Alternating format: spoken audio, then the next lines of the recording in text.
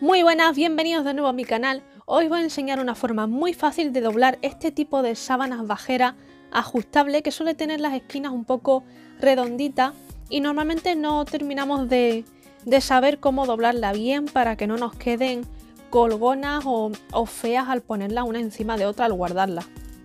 Lo habitual es doblarla de esta forma, que juntamos las esquinas estas redondas les damos un poquillo de forma así más o menos como podemos y listo, la verdad es que mm, queda bastante sueltecilla, no me gusta. Así que os voy a enseñar una forma muy fácil y que queda bastante más estético.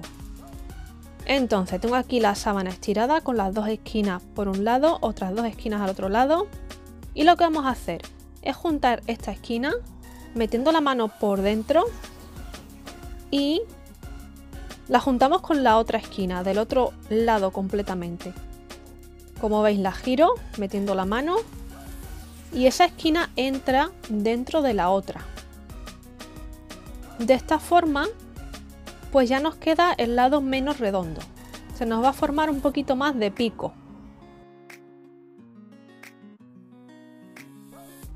Entonces vamos a girarla y la estiramos sobre alguna superficie nos va a quedar de esta forma.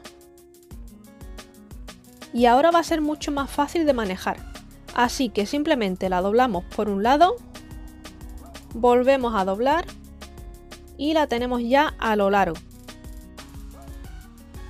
Vamos a girar un par de veces más. Y listo, así de fácil, ya la tenemos mucho mejor doblada que como viene siendo habitual y a la hora de guardarla queda muchísimo más estética. Así que listo, si os ha gustado, dadle a like, suscribiros si no lo habéis hecho y nos veremos en el próximo vídeo.